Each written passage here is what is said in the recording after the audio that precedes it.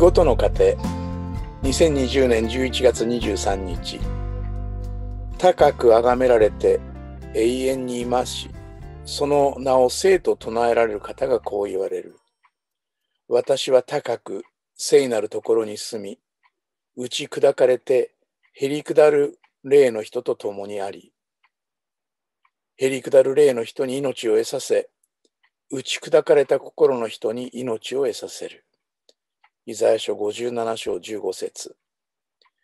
イエスは船から上がり、大勢の群衆を見て、羊飼いのいない羊のようなありさまを深く憐れみ、いろいろと教え始められた。マルコによる福音書6章34節ここに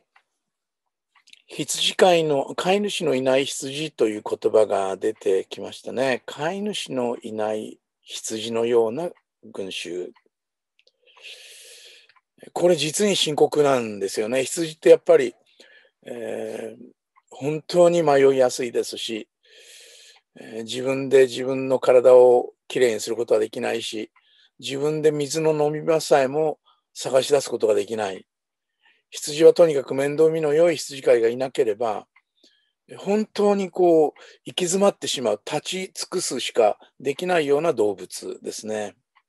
ですから、羊の幸せのためには、絶対的に良い羊飼いに養われる必要があるんですけれど、聖書は私たちも羊のような存在というふうにこう教えてるわけですね。あの、旧約聖書のイザヤ書のところでは、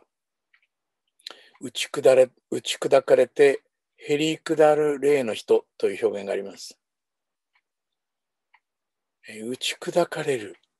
もう本当に心がこうズタズタになってしまって、自分では何もできないなぁとこう落ち込んでしまう。もう何というか立ち尽くすしかできないようなそんな状況。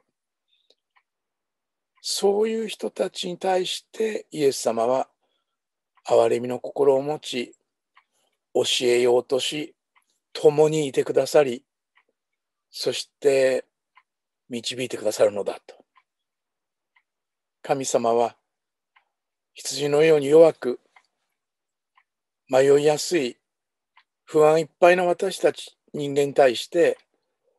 共におられる。命を得させる。養いを与えると約束してくださってるわけですね。